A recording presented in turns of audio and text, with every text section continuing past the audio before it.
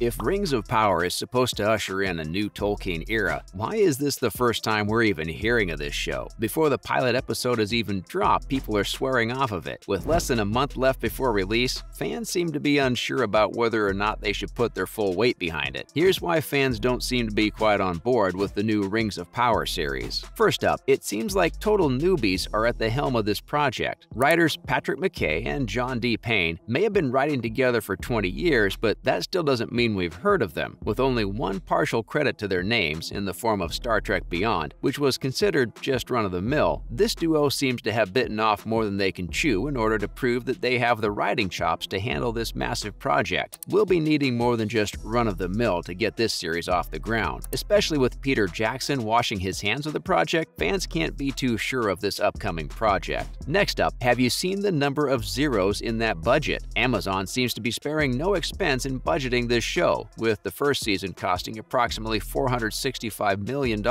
This is by far the most expensive television show set to air of all time. With only eight episodes this season, each episode had its own budget of $60 million. That's just $40 million shy of what it cost HBO to produce Game of Thrones. They ran a whole season on just $100 million.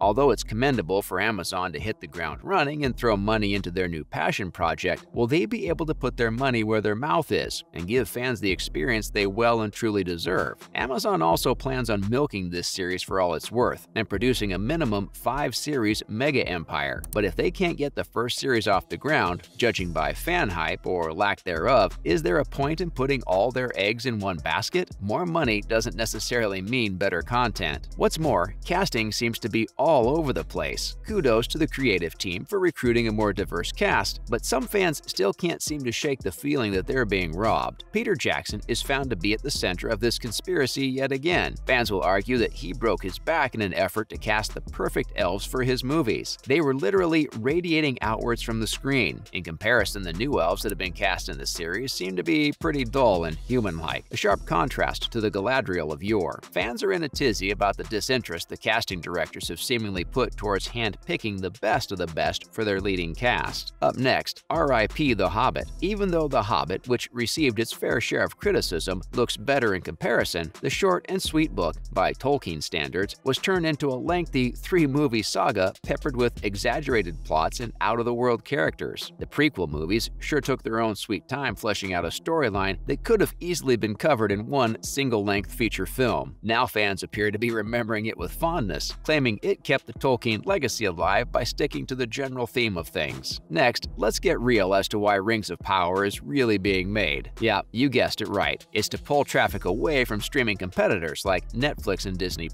If you thought that Amazon was creating this series purely to show their devotion to Tolkien and his works, then you better think again. Amazon has spent a truckload of money getting the rights to this deal, and it has no intention of stopping now. Big Baddie Bezos already owns a major chunk of the world's labor force. What's stopping him from steamrolling his way onto our screens as well? It fills us with great sadness to learn that even this beautiful series, which spreads the message of love, laughter, and togetherness could not escape the greed of big corporations. And last but not least, solely blaming the show for its shortcomings isn't fair. Tolkien is treated like a god and his books are gospel. Stray from them and suffer the consequences. This seems to have become the mantra of the Tolkienites as they face the upcoming season with relative disinterest. All the promotional materials for the new season have been treated with the utmost scrutiny and distrust, with fans raking the trailers through the coals, desperate to pick out some fault. Movies and TV shows shows based on book series are no longer regarded as just side quests to pass time. They are held up to an unreachable standard of what the fans believe the source material should be. They'll force everyone to see it their way or die trying. This is the new age of media, and everyone's a critic. However, they shouldn't be blamed outright. Mastermind Peter Jackson charmed the socks off everyone when he created Middle-earth from scratch, bringing a fresh wave of notoriety to an already massively popular series and boosting sales in all directions. What's more, more, a trailer, a teaser of a trailer, and a superfans video, it's hardly anything to go by when it comes to fairly assessing the full scale of what we're in for. Producers have made teasing the fan into a competitive sport by giving them shapeless snippets of content. Now, in other news, first up in the red corner, we have the House of the Dragons facing off from the newcomer The Rings of Power. Fall 2022 is geared up to be any fantasy fanatic's ideal TV binging season, with both Rings of Power and House of Dragons slated to release within weeks weeks from one another, the anticipation in the air can be cut with a knife. Both of the new series precede massive fantasy franchises with a cult following, distinguished book series, and massively grossing screen adaptations. On the one hand, House of Dragons is tasked with winning back viewers after the controversial final season of Game of Thrones, and on the other, Rings of Power has some seriously giant Peter Jackson-shaped shoes to fill, now that we know that the director is nowhere to be seen in this project. Both seasons have their work seriously cut out for them. Up next, Slim Shady makes a comeback as Slim Sauron, with the trailer for the new Rings of Power making its rounds at SDCC, that's San Diego Comic-Con for the uninitiated last weekend, several fans were shocked to see a character who bore a striking resemblance to the famous rapper. Bright blonde hair shaved close to the scalp drew several callbacks to Eminem's unmistakable Slim Shady era. Twitter was flooded with fans dubbing this mysterious new character as Slim Sauron. Many are claiming that this was a sneak peek at Mini Sauron before he became the big bad of the series. It seemed as if, for once, nobody had anything bad to say about the upcoming series. Here's to hoping that the series gives us the shot of the OG rapper donning his evil armor and embracing the dark side completely. Next up, Merry Brandybuck seemed to be quite merry about the new Rings of Power. LOTR veteran and everyone's favorite Hobbit, actor Dominic Monaghan, has nothing but praise for the upcoming series. Wishing the series well on its maiden journey, he says the creators are properly using the sheer size of Tolkien's world to its full extent by portraying it in this fashion. Nowadays, people are more accustomed to consuming their media in bite-sized chunks, as the actor so aptly puts it. No longer do we have the capacity or the bandwidth, kudos to Monaghan again, to slog through hours of extended director's cuts. Seems to us that the old squad has no problem passing the baton on to the new generation. And finally, there's a new fantasy series in town. Christopher Paolini's Inheritance Cycle is finally getting the recognition it deserves. And no, please let's collectively swear to never speak of that monstrosity of a movie that dared to tarnish our screens way back in 2006. We shudder to even mention it by name, lest it curse us in any way, sort of like how people think it's bad luck to say Macbeth in a theater. Eragon, the movie, was a box office flop, and not even big names like Rachel Weisz, who voiced the aptly named Blue Dragon Saphira, and Jeremy Irons could save the film from the rioting fans. This time around, Paolini himself will be integrated into the project, with him serving as co-writer and a potential co-showrunner. We can only hope the Disney Plus, who've taken on this mammoth project, will be able to learn from past mistakes and breathe their famous Disney magic into the upcoming series. If not, they'll have some pretty riled up fans to answer to. That's a wrap for this video. What do you think? Are fans being a bit too harsh on the new series, or are their reactions justified? Let us know in the comments below. Make sure to give this video a thumbs up and subscribe to our channel for more videos like this. See you in the next one.